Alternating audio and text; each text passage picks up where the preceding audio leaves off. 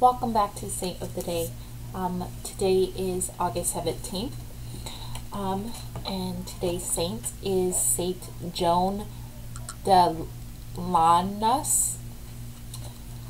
Um,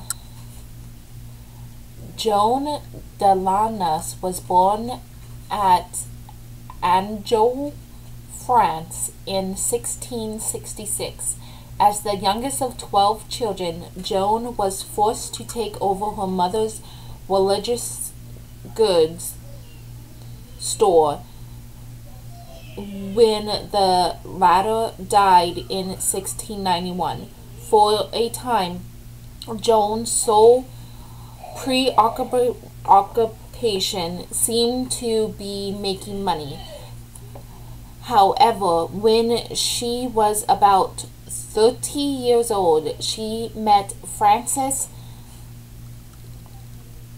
Souchet, a widow, and changed her whole life.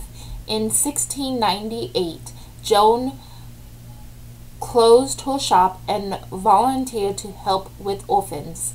After six years, Joan and her niece and two companions adopted the religious life, forming a community called the Sisters of St. Anne of the province of Saumur.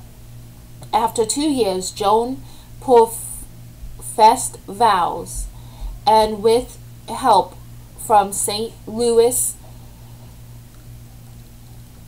Greg, Grignion de Montfort, as well as the Orte, Oratorians, she continued her work with orphans.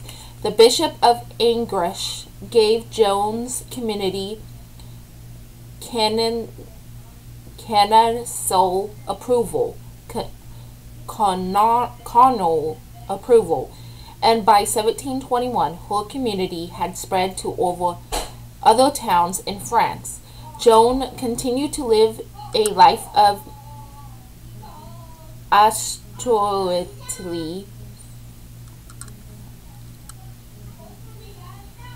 Moreover, Joan became widely known for healing healings obtained through her intercessions.